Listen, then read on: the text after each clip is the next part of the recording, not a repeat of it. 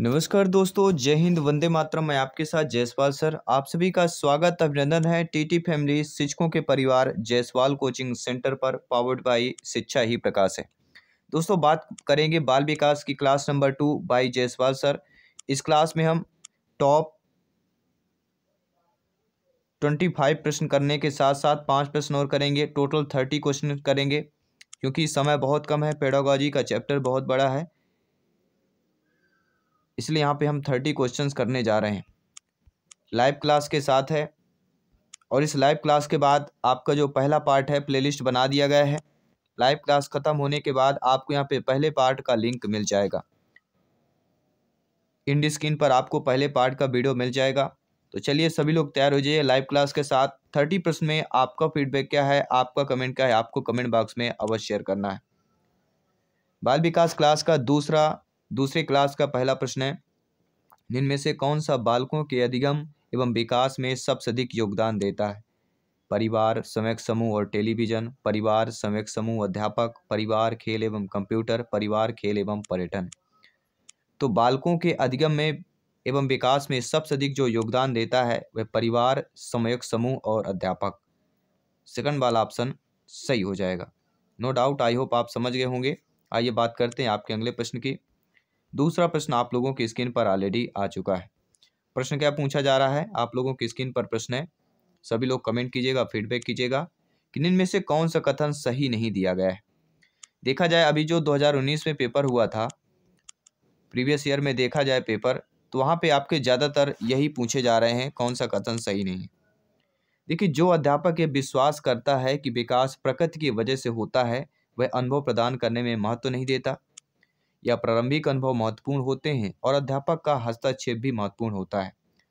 प्रारंभिक जीवन की नकारात्मक घटनाओं के प्रभाव से कोई अध्यापक बचाव नहीं कर सकता है।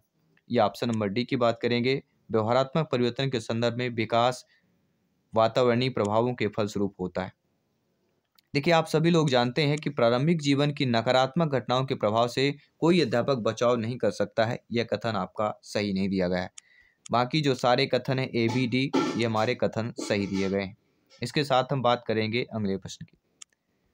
बालक की प्रथम पाठशाला कौन सा होता है? काफ़ी बार पूछा गया प्रश्न है तो सभी लोग जानते हैं बालक की प्रथम पाठशाला माई फैमिली परिवार होता है। इसके साथ ही आपका अगला प्रश्न है, जो स्क्रीन पर ऑलरेडी आ चुका है। प्रश्न पूछा जा रहा है, बालक का प्रारंभिक विकास मुख्यतः किस पर निर्भर रहता है? माता पिता पर, वातावरण पर, विद्यालय के वातावरण पर या समाज पर निर्भर रहता है। सभी कमेंट कीजिएगा। जी हाँ फोर्थ क्वेश्चन आपके स्क्रीन पर ऑलरेडी आ चुका है। इसका राइट ऑप्शन राइट आंसर क्या हो जाएगा? सभी कमेंट कीजिएगा। तो बालक का प्रारंभिक विकास जो है मुख्यतः किस पर निर्भर करता है? माता पिता पर निर्भर करता है पेरेंट्स अभिभावक पर निर्भर करता है। इसके साथ ही अगला प्रश्न।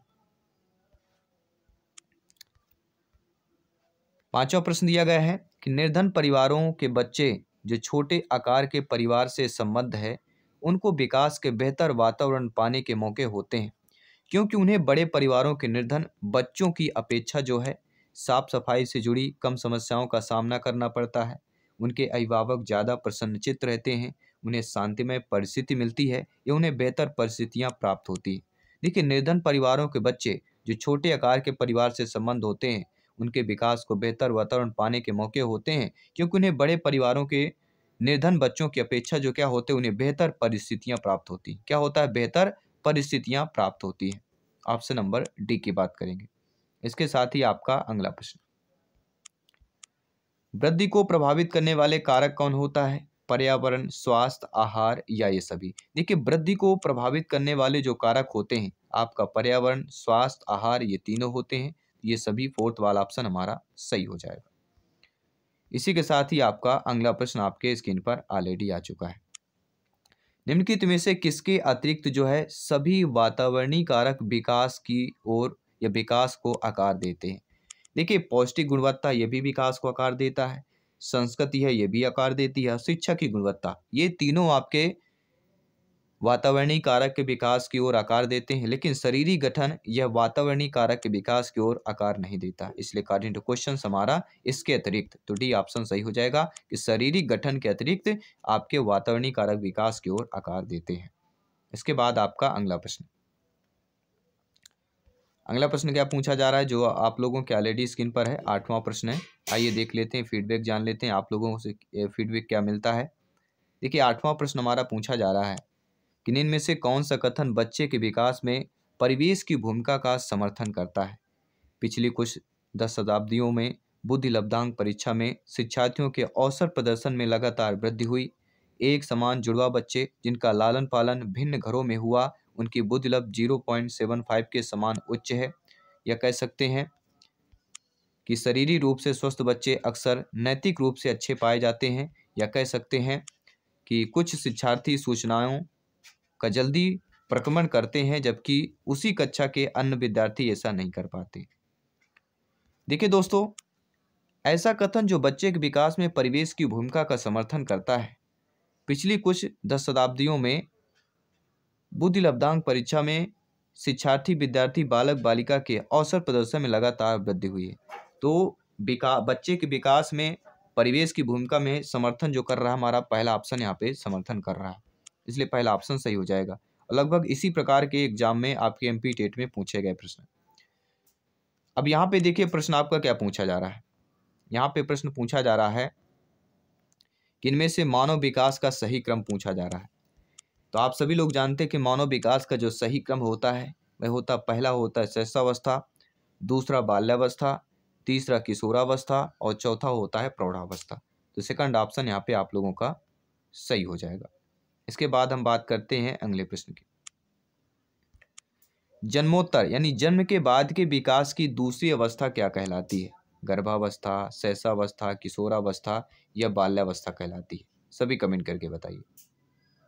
जी हाँ टेंथ नंबर क्वेश्चन आपके स्क्रीन पर है। कि जन्मोत्तर या जन्म के बाद के विकास की दूसरी जो प्रमुख अवस्था कहलाती है, वह कहलाती है बाल्यावस्था। पहली जो कहलाती है सहसावस्था दूसरी कहलाती है बाल्यावस्था। इसके बाद अगला प्रश्न। शैशावस्था मानव विकास की प्रमुख अवस्था है, प्रथम, द्वितीय, तृतीय या चतुर्थ है। तो शैशावस्था जो है, मानव विकास की कौन सी अवस्था कहलाती है? वह प्रथम अवस्था कहलाती है। इसके बाद आपका अगला प्रश्न। सहसावस्था होती है तो सहसावस्था की आयु सभी लोग जानते हैं, पाँच वर्ष तक होती है। शून्य से लेके पाँच वर्ष तक की आयु हमारी सहसावस्था की आयु कहलाती है। इसके बाद आपका अगला प्रश्न। बाल्यावस्था होती है तो सभी लोग जानते हैं जब ज़ीरो से लेके पाँच वर्ष तक आपकी सहसावस्था होती है तो पाँच से लेके बारह वर्ष तक की अवस्था जो होती है वह हमारी कहलाती है बाल्यावस्था। तो बारह वर्ष तक की अवस्था यहाँ पे हो जाएगा, बाल्यावस्था की बात करते हैं। इसके बाद अगला प्रश्न है सैसव काल की अवधि कौन सी होती है? तो सभी लोग जानते हैं सैसव काल की अवधि जन्म से दो वर्ष, जन्म से तीन वर्ष, दो से तीन वर्ष, जन्म से एक वर्ष। सभी कमेंट कीजिए। तो सैसव काल की जो अवधि कहलाती है, वह जन्म से लेके दो वर्ष तक की अवधि कहलाती है। तो पहला ऑप्शन यहाँ पे सही हो जाएगा। इसके बाद अगला प्रश्न है, मध्य बचपन की अवधि कौन सी कहलाती है? दो वर्ष से छः वर्ष छः वर्ष से ग्यारह वर्ष, दस वर्ष के बाद या जन्म से लेकर दो वर्ष की बात कर रहे हैं। तो मध्य बचपन की अवधि जो कहलाती है वो कहलाती है छः से लेके ग्यारह वर्ष की अवधा, अवस्था की बात करेंगे। देखिए, इसमें जो आपके दो होते हैं एक होता है पूर्व बाल्यावस्था एक होता है उत्तर बाल्यावस्था तो छः से लेके नौ वर्ष तक पूर्व बाल्यावस्था नौ से लेके बारह वर्ष तक उत्तर बाल्यावस्था होती है। ये भी चीज़ें आपको नोट कर लेना है। काफ़ी बार पूछे भी जाता है। अगला कि निम्नलिखित में से कौन सा आयु समूह परवर्ती बाल्यावस्था श्रेणी के अंतर्गत आता है? ग्यारह से अठारह अठारह से चौबीस, जन्म से छः या छः से लेके ग्यारह अवस्था देखिए, जो आयु समूह परवर्ती बाल्यावस्था श्रेणी में आता है तो हमने आपको बताया था, ठीक है, पूर्व, पूर्ववर्ती पूछा जाता है तो वह आपका ले, आ जाता है छः से नौ वर्ष तक, और अगर परवर्ती पूछा जाता है तो नौ से लेके बारह वर्ष तक आ जाता है। लेकिन यहाँ पे आपका देखिए, कोई भी ऐसा नहीं दिया गया है तो ऐसा समूह परवर्ती बाल्यावस्था श्रेणी में जो छः से घेरा है, वही ऑप्शन सही होगा। लेकिन अगर यहाँ पे राइट ऑप्शन माना जाए तो नौ से लेके बारह वर्ष होना चाहिए। तो ये ऑप्शन नहीं तो फिर हम डी ऑप्शन को सही करेंगे। और वृद्धावस्था की अगर बात करते हैं तो साठ वर्ष के जीवन के अंत तक जो वृद्धावस्था का होता है, साठ से लेके जीवन पर्यंत वृद्धावस्था का समय होता है। अगला निम्न से कौन सा आयु समूह परवर्ती बाल्यावस्था के श्रेणी के अंतर्गत आता है? देखिए, आप सभी लोग जानते हैं, समूह परवर्ती बाल्यावस्था श्रेणी के अंतर्गत जो आता है वह हमारा कौन सा कहलाता है? ग्यारह से अठारह अठारह से चौबीस, जन्म से छः या नौ से लेके बारह वर्ष तक। तो समूह परवर्ती, अब देखिए परवर्ती ज़िक्र दिया गया है। तो अब यहाँ पे आपका सही ऑप्शन दिया गया है नौ से बारह। ये चीज़ हम, जो पिछले प्रश्न पे नहीं था, लेकिन इस प्रश्न पर आपका ऑप्शन राइट दिया गया है। अगर पूर्ववर्ती होता तो फिर छः से लेकर नौ वर्ष तक ऑप्शन सही होता। इसके बाद हम बात करते हैं अगले प्रश्न की। बाल्यावस्था या बाल्यकाल होता है, जन्म से लेकर तीन वर्ष, तीसरे वर्ष से छः वर्ष, छठे वर्ष से बारह वर्ष, दूसरे वर्ष से दस वर्ष। तो हम ऑलरेडी आपको बता चुके हैं कि बालकाल जो होता है, छठे वर्ष से लेकर बारह वर्ष तक की आयु तक होता है। इसके बाद अगला प्रश्न है निम्नलिखित में से किस आयु सीमा को प्रारंभिक बचपन माना जाता है? सात से ग्यारह, जन्म से दो, तीन से बारह या दो से छः तो जिस आयु सीमा को प्रारंभिक बचपन माना जाता है, वह हमारा कहलाता है दो से लेकर छः वर्ष तक। इसको प्रारंभिक बचपन माना जाता है। इसके बाद हम अगला प्रश्न बात करेंगे। गर्भाधान से बालक के जन्म तक की अवधि को क्या कहा जाता है? तो गर्भाधान से बालक के जन्म तक की अवधि को क्या कहा जाता है? सभी लोग जानते हैं प्रसव पूर्व काल या प्रसव पूर्व अवस्था कहा जाता है। सी वाला यहाँ पे ऑलरेडी आपका ऑप्शन सही हो जाएगा। इसके बाद अगला प्रश्न है, मानव विकास का जो प्रारंभ होता है वह गर्भावस्था से, पूर्व बाल्यावस्था से, उत्तर बाल्यावस्था से या शैशावस्था से होता है। तो मानव विकास का जो प्रारंभ होता है, वह आपकी गर्भावस्था से होता है। पहला ऑप्शन यहाँ पे सही कर लेना है। विकास जो शुरू होता है, वह पूर्व प्रसवावस्था, शैशावस्था, पूर्व बाल्यावस्था या उत्तर बल बाल्यावस्था से होता है। तो विकास जो शुरू होता है, वह आपके प्रसव पूर्व अवस्था से ही शुरू हो जाता है। जो कि आपका जीवन पर्यंत चलता रहता है, लेकिन वृद्धि की एक निश्चित समय और सीमा होती है।